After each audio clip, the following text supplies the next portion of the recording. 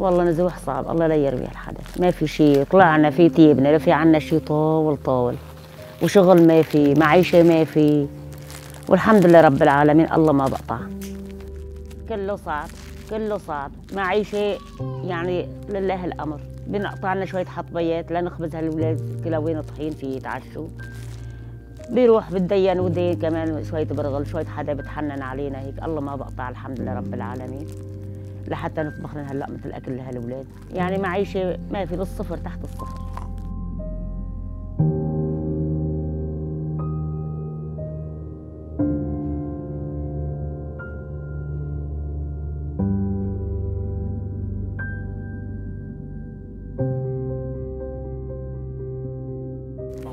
كان مريض كثير كثير كثير وقلة تغذية مهنزوح من هال شو اسمه والحمد لله الله كثير كثير الخير إن شاء الله. دول منظمة يعني الحمد لله رب العالمين. كل جمعة كل شهر بيجوا بيعطوه تغذية. الحمد لله رب صار هلأ مليح الحمد لله. إن شاء الله ثلاث أشهر صار لهم بيجوا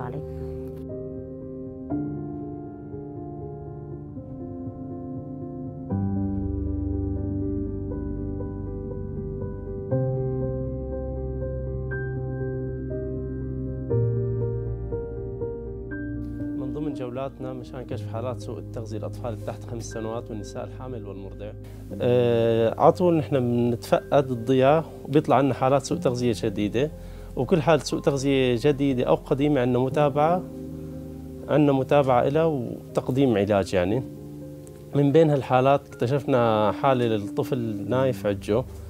كان عمره ما يقارب عشرة أشهر. بالزيارة الأولى كان مواكو متوسط. والزد سكور عنده كذلك الأمر يعني. آه، بالزيارة الأولى قدمنا له العلاج لمدة 15 يوم. نحن زيارتنا بتتم لذوق التغذية المتوسط على 15 يوم.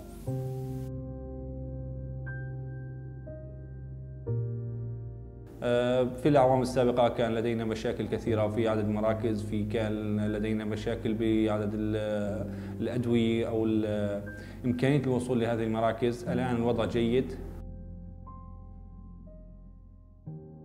بالنسبة لجائحة كورونا وتأثير على عمل المراكز بالحقيقة آه، أثرت تأثير كبير على عمل المراكز. آه، قمنا بمراقبة عمل الموظفين والتشديد على استخدام أدوات الوقاية الشخصية من كفوف كمامات الكحول بشكل دوري ومتواصل.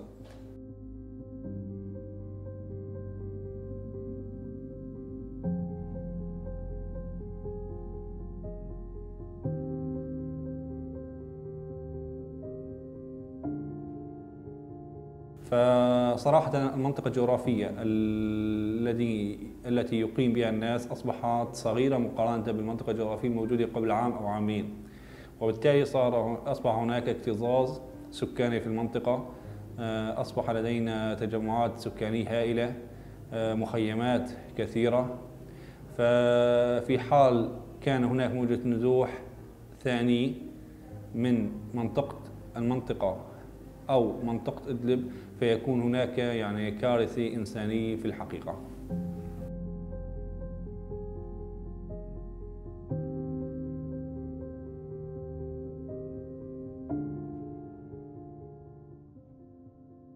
هذا الطفل آه، نتيجة هذه الأوضاع نتيجة هذا العبء الذي تشكل عليه سبب له ضغط نفسي كبير. هذا الطفل يعيش حالة نفسية يعني سيئة جدا. فهو محروم من حياة كريمة محروم من تعليم محروم من حقه كطفل.